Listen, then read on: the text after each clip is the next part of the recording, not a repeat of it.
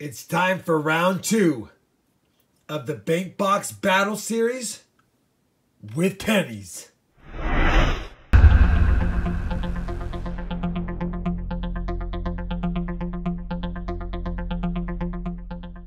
Hey everybody, it's Rob with Rob Finds Treasure, and that's right, it's time for round two of this Penny Box Battle Series. And you will recall 12 and a half points for Wells Fargo in the first round, 18 and a half for Chase, and 21 and a half for B of A. Last series, third place finisher kicks us off with a W. Still, it's early. One out of the nine boxes done. This is box number two. We're going to kick it off with Chase because the box is different than the other two. And then we'll go to B of A because the box is different than the other two. And then finally we'll go to Wells Fargo because its box is different than the other two. Just kidding. Bottom line is we're going to kick it off a Chase because I haven't hunted a Chase box of pennies in quite some time and I just feel like doing it. Now, the B of A box has the holes in the bottom, so they were circulated. We'll open that when we get to it. Wells Fargo, I cracked the top. Definitely circulated. Didn't check the other side for enders yet. Chase cracked it open. Saw that it was circulated by only pulling one roll out. You can see right there. So we don't know what enders we really have, and we don't know if we have anything awesome. But that's what makes coin roll hunting so dang fun. All right, enough chit chat. We got to skit scat and start hunting. We've hunted five rolls so far and found nothing, but grabbed roll number six and we've got a wheat penny ender. So that's a good sign. Let's see what year it is. The wheat penny ender, 57D. It's one of the newest ones, but it gets us on the board. Roll 18, still stuck on one wheat penny, but we did find a young head. 1958. We'll take it. We're on roll number 23, and I'm finally going to get a second wheat penny right here. Feels good to see another one. It's another 57D though.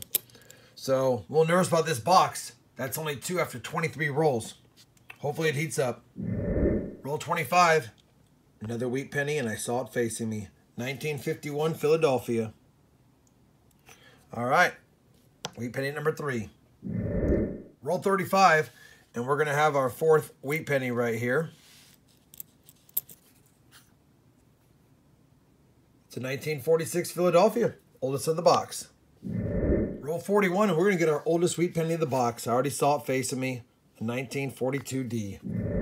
Roll 43 is going to yield wheat penny number 6 for the box. Half a dozen. It's a common 44, but we'll take it. So we finished that box of Chase pennies, and you know what? Only six Wheaties. Oldest wheat penny of the box. Didn't even crack below 1940. It was a 1942 Denver. We also found one young head, 459s, including this beautiful toner. I really like how it looks. It's in pretty good shape, too. We also got 169S and one fairly nice 1968 Denver. On top of that, I'm not keeping them, but I wanted to show you. I did find three 2019Ds. First ones I have found in circulation, so they're out there now. Probably not going to score a lot of points on the board with this many finds, so I'm pretty sure Wells Fargo and B of A can pass up Chase. It was the second most points last round, but this round, it might come in last. All right, let's get to Wells Fargo next. So we could be on a good box. I've noticed there's several enders that look pretty nice, and I've already found this beautiful 1963 and there's a lot of great looking 78 through 82s that I'm not keeping. But my point to this is I just opened a roll and spilled it out by mistake. And look what I see laying here. Now it's probably going to be in the 50s. But that is a beautiful, beautiful wheat penny. And it's a 57p. I don't want to mess with it too much. So, yeah, a couple of ding marks, of course, from circulation, but that is a stunner. And like I've always said, if I could find Wheaties like this versus old beat up ones, I'd take them like that all day, even if they're the 40s or 50s. So I'm going to go through this roll and continue the hunt, see if I see anything else. But uh, if I'm going to start seeing pennies like these, and even this beautiful ender there, it's got some toning, but you can see some of the original luster. We're going to be in for a good hunt. Same spill on the bottom as I clear them away. Thought it was copper. It was, but it's a 48 Philadelphia. So two Wheaties in that roll, and one's a beauty. All right, let's get those coppers in the jar and pull another roll. Very next roll, roll number seven. We're about a third of the way in, and I see the back of a wheat cent. What do we got here? 1941. They're getting older. I like it. Roll number nine. Wheat penny number four. 1944. Roll number 11, and we're going to have our fifth wheat penny, so it feels good finding wheat pennies every other roll right now. This one's a 55 Denver. Laid out roll 17. I caught something wheat cent like in the back. 51 Denver. Wheat penny number six. We're on roll 23. I see the back of a wheat penny, and when I slid it down, I think that's a 42D over there. It is. So we've got a 42D. Pretty toasty. Or is that a 42S? No, it's a D. 1942D. We'll just double check it. Yep. So 42D, second oldest of the box. And then what is this one going to be right here? It's also got the same kind of patina or damage to it. And it's a 44D.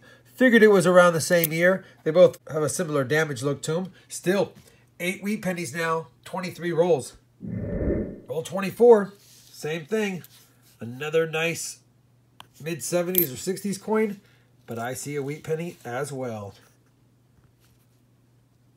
55D again. Wheat penny number nine. So as hot as this box was in the first 24 rolls, when we had nine wheat pennies, we're on roll 50. I was thinking to myself, have I ever gone 26 rolls without a wheat penny? I don't think I have. I think I've started a box with 20 on roll 23 when I got my first. But to end a box with 26 rolls without a wheat penny would have been disgusting. That being said, I just laid out roll 50 and we're going to get at least one in this roll to make our 10th wheat penny of the box finally. It's just a 56, but I've been on a mission thinking I was going to find the 10th one any roll after 24. Took me 26 rolls. I'll finish hunting this roll and see if we find anything else, and then I'll give you a wrap up. Oh, the irony. Same roll like the sixth penny down is another wheat penny. And it's a 46D.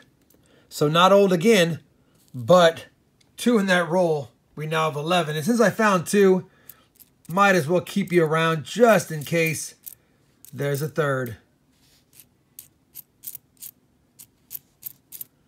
And since I'm filming, you know there won't be. All right, let me finish this up and give you a wrap up. So we finished that box of Wells Fargo pennies, and you know what? We did get 11 for the box. That's a really good number for me to find. I've been finding 6 to 8 lately. It's been slowing down. So to get 11, I'm happy with. But we had 9 after 24 rolls and only got 2 in the 50th roll to make 11. Also of note, the oldest one was a 1941. And we found that early on. So nothing that spectacular, except for I will say that this 1957 Philadelphia is in beautiful shape. And I'm happy with that find. We also found 459s and a 69S that somebody tried to alter the word trust on. You can see it's been pushed around a little bit. It's not the DDO, it's just post-mint damage. And then after all of the nicer coins I found, I culled them down, and I think I'm just going to keep these three, a 62D, 63P, and a 64D. That box definitely beat the Chase box, for sure, on finds. Now it's time to see if B of A, which I have not opened yet, because I can see from the holes in the bottom we circulated, can do any better. Let me get this cleared away, and then we'll get this box open, and we'll check for enders. Let's go ahead and crack open this box and see if we have anything worth talking about.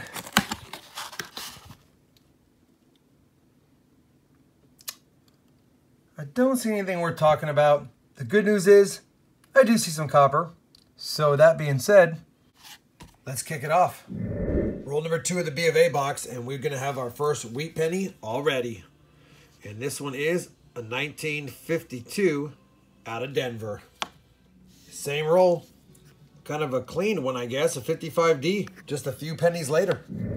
Roll six, starting off like last box. We found our third wheat penny already. This one's a 53S, I believe. It is a 53S. So three wheat pennies, all in the 50s, but all in the first six rolls, too. Roll number nine, wheat penny number four already. Get to reveal it. Another 50s. 52, is that an S as well? No, it's just a damaged D. All right. Four in the 50s. They're getting older now. Can we get some 40s or 30s? Same roll. Another 50s Wheatie. 53S. And that is number five already for the box. And we're not even to the first 10 rolls. Roll number 27. And I wasn't expecting this one towards the back of the roll. But we got a wheat penny. And it's a 1940 out of Denver. Roll 28. About the fifth penny in. It's facing me. Got a 44S. So that's two from the 40s real quick. And that now makes seven for the box. Roll 29. We're going to have wheat penny number eight. It's another 50s. Last year wheat penny. 1958 Denver. Roll 33. Going to have another wheat penny. It was already facing me and it's the oldest of the box. Got our first pre-40s. A 1936 Philadelphia. And since it is a 36, you always want to be checking those for the double die obverse. And you'll see it on the 9, 3, and 6 most prevalent. But got some oddities right here, but I think that's just going to be some ding marks. I'm going to take a look at it, some closer magnification just to make sure. But it looks like it's just a regular 1936 at first glance. Roll 34.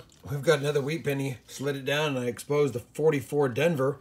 And that's wheat penny number 10 already. So we hit 10 a little bit earlier on this box because we had that run of no Wheaties in the last box for like 20 something rolls. Good news is we do have 16 rolls left. We're at double digits. We've got a pre-40s and we've got more to hunt. Roll number 42. We're gonna have another wheat penny here and it's number 11 of the box. And I think it's a 46. It is. Might have a mint mark too, not quite sure.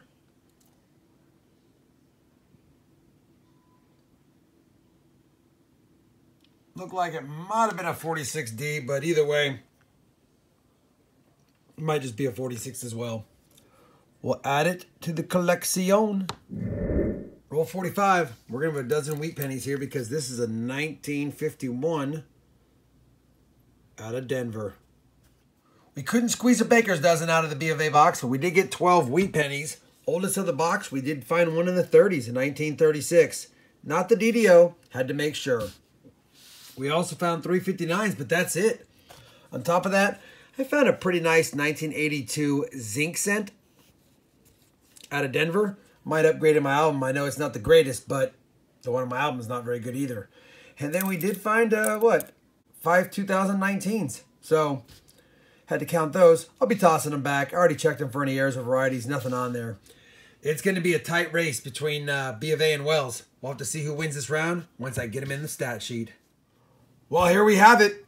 Wells Fargo took round two, 25 points. Got help from the AU type coins because I do give a little bit of extra points if they're in nice shape.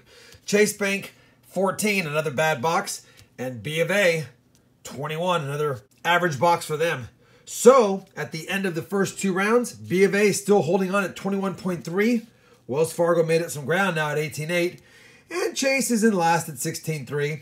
Again, we're only two of the 10 boxes in with a new scoring sheet. And of course, all it takes is a great find or an Indian head in one of my boxes. And that's going to help out a lot.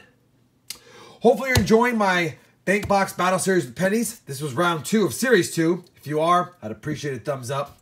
And as always, everyone, happy hunting and thanks for watching.